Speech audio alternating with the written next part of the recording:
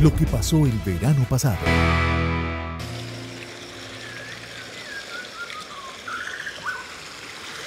Bueno, no se me haga la loca que usted no me ha concretado lo del viaje.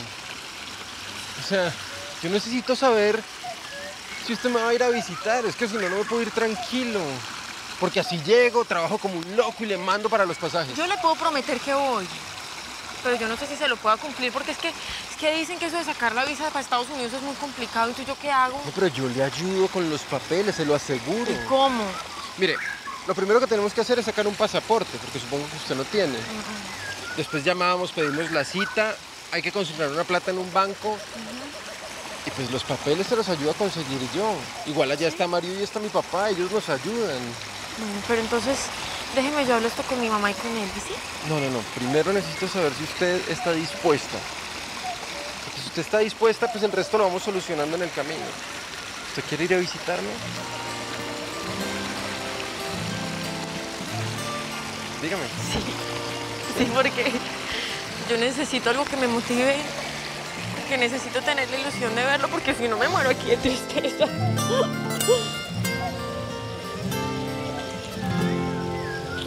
Hagamos. ¿Sí? ¿Lo hacemos?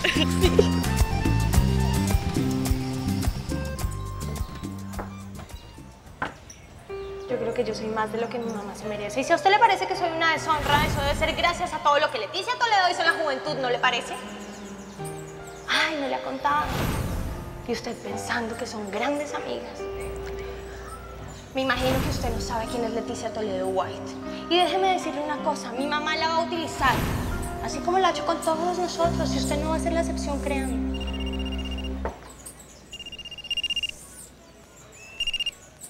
¿Qué tal, Leticia? ¿Cómo le fue? Estoy llegando al pueblo, nos vemos en su casa y allá le cuento. No, en este momento no puedo porque tengo que revisar unos documentos. Si quiere, usted va a la casa y la empleada le abre. Bueno, yo voy a aprovechar para hablar con el notario. No se lo aconsejo, Leticia, no le va a servir de nada. Ya le dije que él y yo no nos entendemos bien. No se preocupe, Amanda. A mí me va muy bien con los hombres. Nos vemos.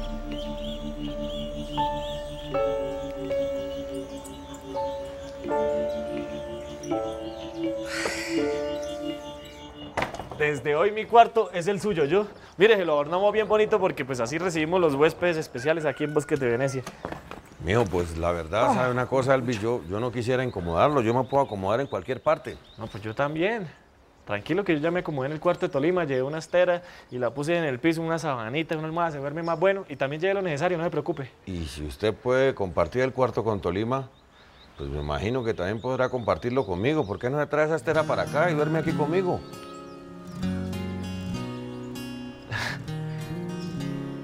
Pues no es ni mala idea, ¿no?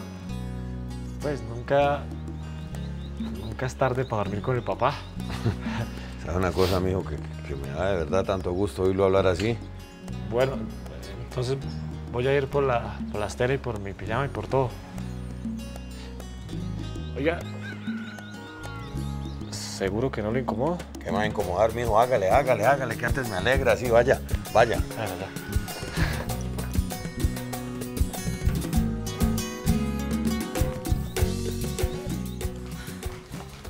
Doctor Noguera, ¿cómo está? Es un placer para mí conocerlo. No pensé que fuera tan joven, tan elegante, tan apuesto. Mucho gusto, yo soy... Sí, sí, sí, yo sé quién es usted, doña Leticia. Mucho gusto. Siga, siéntese. Gracias. No quiero molestarlo porque sé que va de salida, pero en realidad yo vine a pedirle, mejor dicho, a rogarle si puede acelerar el proceso de las escrituras de la Hacienda Venecia. Mire, yo tengo meses sufriendo porque me han maltratado, insultado. Es muy incómodo. Ay, usted no se imagina, doctor. Pero según he oído, usted no está quedando en la hacienda. Pues bueno, la verdad es que sufrí una crisis nerviosa, que de hecho me tengo que ir a Bogotá a hacerme unos exámenes. Además tengo un evento de beneficencia al que va a ir la primera dama y entonces pues si usted puede firmar eso para mañana yo se lo agradecería en el alma. Doña Leticia, como usted entenderá, no es el único caso que tenemos. En este momento estamos sumamente ocupados. Ay, no me diga eso, doctor, que me va a dar otra crisis. Mire, ¿qué necesita usted para acelerar el proceso? Si necesita pagar horas extras, empleados, lo que sea, yo con muchísimo gusto, con muchísima generosidad se lo doy, ¿sí? Mire, llevo 20 años respetando el orden de llegada de los documentos, sin excepciones, y me enorgullezco de eso. Lamento mucho no poder ayudarla, pero le rogaría un tremendo favor. Que me regale un autógrafo para mi señora. Ella sí que la admira. Eh, se llama María Cleofe.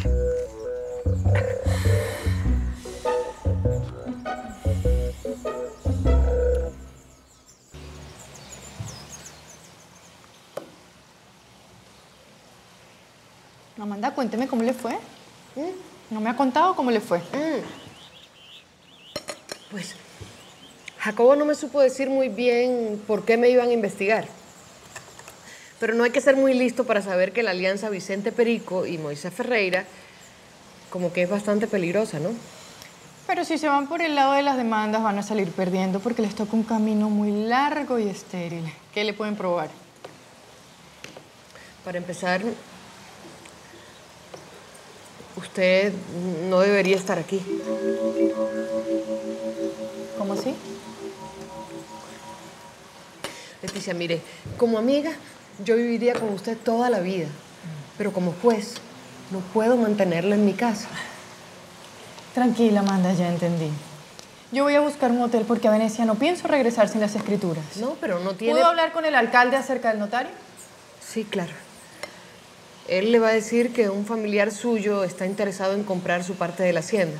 No puede hacerlo directamente porque usted sabe que... No se dan- preocupe, no se preocupe. Y le voy a decir una cosa. Estoy segura que están inventando todo ese chisme para que usted se asuste. Pero si se siente mejor sin mí, pues entonces no se preocupe. Leticia. Yo me voy. Leticia, pero no- mire, óigame, no tiene por qué irse ahora mismo. Podemos mirar un hotelito y usted se va por la noche cuando llame menos la atención, ¿sí? En realidad, si a mí me investigan, lo que menos me preocupa es nuestra amistad. Lo que realmente me preocupa es que Virgelino Quinche hable. Amanda, Virgelino Quinche no va a hablar. ¿Por qué está tan segura? ¿No era que simplemente habían tenido un romance de juventud? ¿O de pronto no me dijo toda la verdad? Claro que le dije toda la verdad. Sencillamente estoy segura que Virgelino Quinche no se arriesgaría a traicionarnos. Mire, Leticia, si Moisés Ferreira fue capaz de sobornar al partidor, puede sobornar a cualquiera. ¿Usted cree que si le ofrece a Virgelino 20 o 30 millones, él no va a aceptar?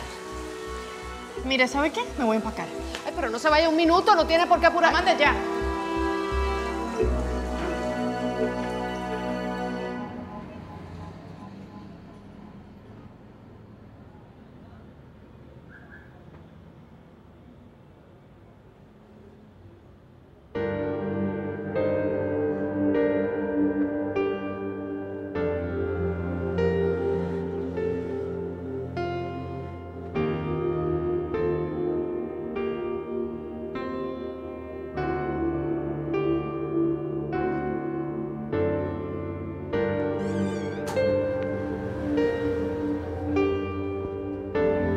Eso?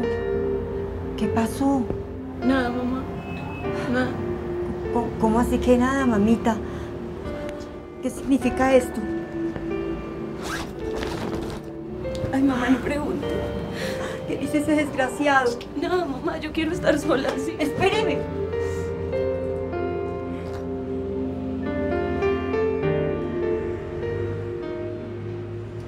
No, pues él sí está. Lo que pasa es que llegó como cansado y me pidió que no lo molestara.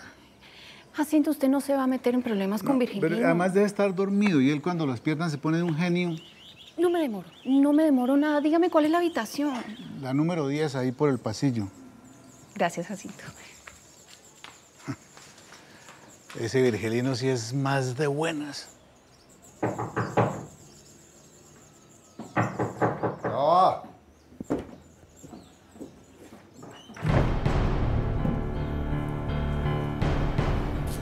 ¿Cómo le doña Rosy? ¿Qué hace aquí? Don Horacio está en la habitación número 5, pero por favor dígame de parte de quién y yo con mucho gusto el anuncio. No se molesten en anunciarme que yo soy la esposa. ¿La esposa? Pues con mayor razón tengo que anunciarle para... Para avisarle, claro, que yo estoy aquí. Entre los hombres se tapan todo. Señora, por favor no me vaya a hacer escándalo. Yo no quiero hablar de la declaración, doña Rosy. Yo pensé que ese tema ya estaba cancelado. ¿Cancelado? Cuando uno da una declaración falsa, eso tiene consecuencias. Lo que pasa es que no fueron mentiras, doña Rosy. Ay. Vigelino, yo lo conozco mejor que cualquiera. Hace un tiempo usted se me acercó diciendo que le parecía muy raro que Leticia hubiera desaparecido, como si se hubiera muerto con papá. Sí, lo que pasa es que después de un ¿Después tiempo... qué? ¿Después de que lo eché de la hacienda porque se había robado unas vacas? Usted me dijo que había sido por hambre, así que Leticia no le mandó un peso a usted. ¿Esa fue la primera y la última vez que usted robó o no? Pues delincuente no soy. Yo me gano la vida honestamente trabajando. Entonces, ¿qué le prometió Leticia? ¿Plata o tierras? Bueno, ¿y si hice un trato con ella qué? Pues que va a terminar pagando porque la Procuraduría está investigando a la jueza. Ellos sí tienen unos aparatos muy sofisticados para saber si uno está mintiendo o no. Y no es como acá, los poderosos no le ganan a los débiles. Pues yo preferiría que no me amenace doña Rosa. No lo estoy amenazando, le estoy diciendo que está a tiempo para que usted remedie su error, por Dios. Leticia no le va a cumplir la promesa. Pues eso es problema mío. No, no es solo problema suyo. Para un hijo es muy importante la imagen honesta que tenga de su padre. ¿Y usted por qué me está hablando de hijos? Usted sabe perfectamente por qué lo estoy haciendo. Piénselo.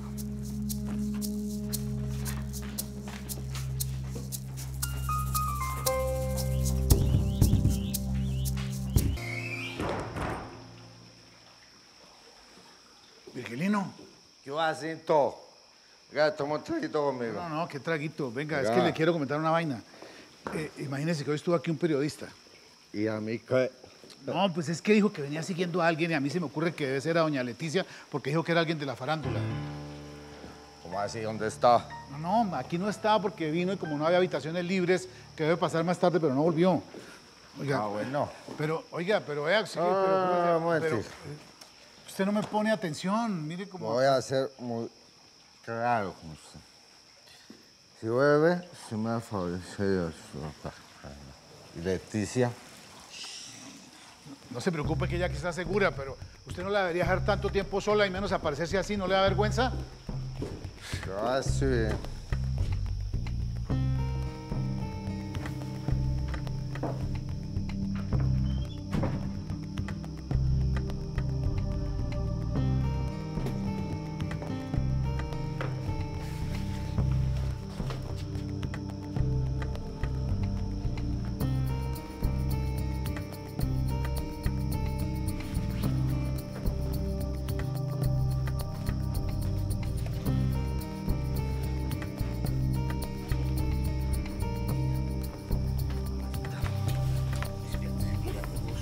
bien. Virgelino, Virgelino, ya, no sea grosero. Cochino, borracho, huele a puro aguardiente. Mire, yo le voy a decir una cosa. Por primera y última vez en su vida. Usted a mí me respeta, ¿me entendió? Virgelino. Virgelino. Ay, Dios mío, ¿qué hice yo para merecerme semejante castigo? Te estás quedando dormida. Buenas noches, Buenas muchas noches. gracias. Hoy fue el mejor día de mi vida. Gracias. Ay, mi amor, no. Gracias. Mañana también va a ser un día muy lindo. vas Bueno, ver. muchas gracias. Gracias. Buenas noches. Buenas noches, chiquita. Nos vemos mañana. Chao. Chao. Ay, Esta muerte se me cierran los ojos. Trabajaste muy duro para que todo saliera bien. Valió la pena. Verle la cara de felicidad a Sarita y a Simón es todo. Miguel también estaba feliz. Has hecho mucho por él. Por lo menos no todo lo que hice era malo. Estaba muy herido. Entiendo. ¿Eso quiere decir que me perdonas? Eso quiere decir que estoy tratando de ponerme en tu lugar y entenderte.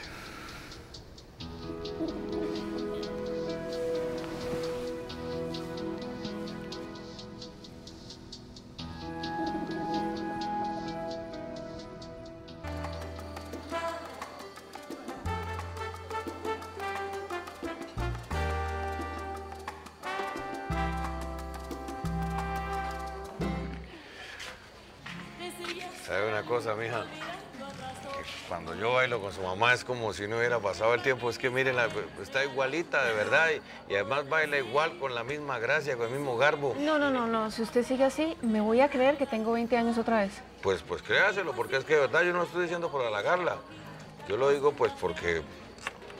Porque que es la verdad y, y eso es lo que yo siento, ¿no? Cuando, cuando estamos así los dos. Permiso, yo tengo que ir a arreglar el cuarto de masaje. Sí, ya vengo. Permiso. Bueno, yo también me voy a dormir. Que descanse. No, pues, pues, pues yo también me voy y pues como vamos de camino yo voy para mi cuarto, digo, para el cuarto de Elvis, pues, pues la acompaño, ¿no?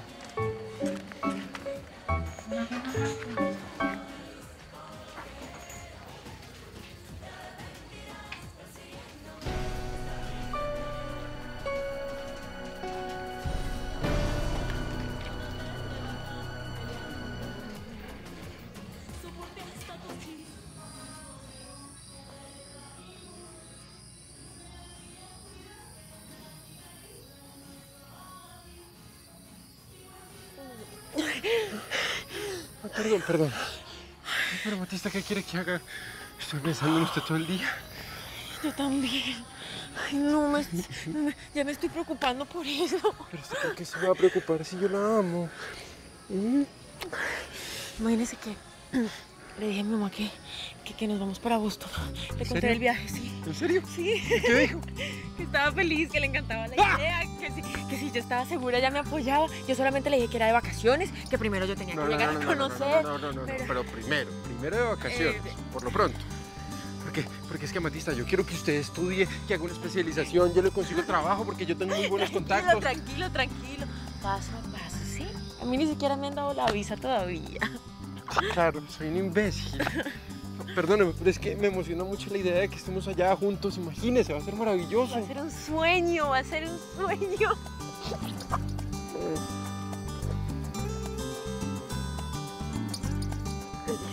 Elvis. No, no, tranquilo. Vámonos, vámonos antes de que Elvis me empiece a buscar, ¿sí? Sí, sí, vámonos. Sí, pero venga. Nos vemos ahora. Sí. Nos vemos ahorita cuando se acabe la fiesta. En su habitación, sí. Sí.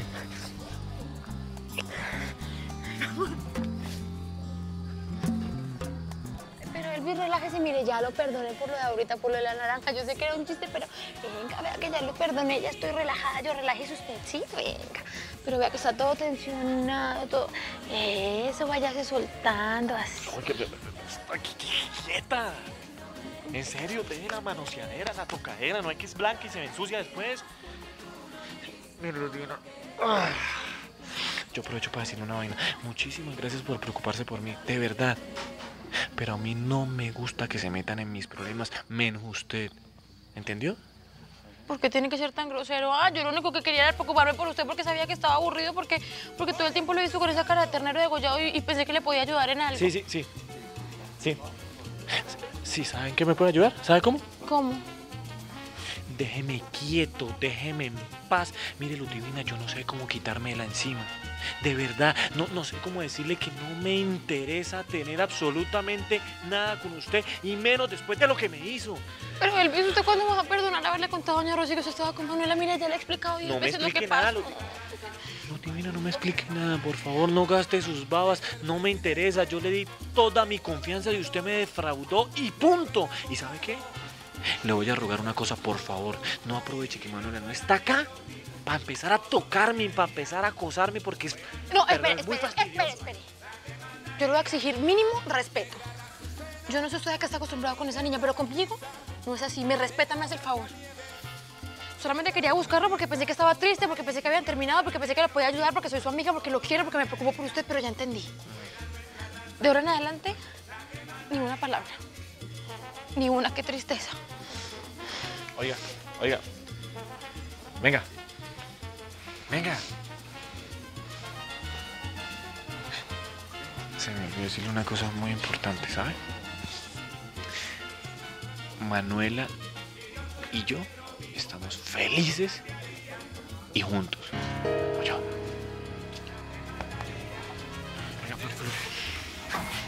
¿Quién es ese tipo que está ahí? No, no sé, es un tipo que acaba de llegar de Bogotá y no se quedó en el hotel porque no habían habitaciones disponibles. Permiso que me pidió una cerveza. ¡Una cerveza! A ver.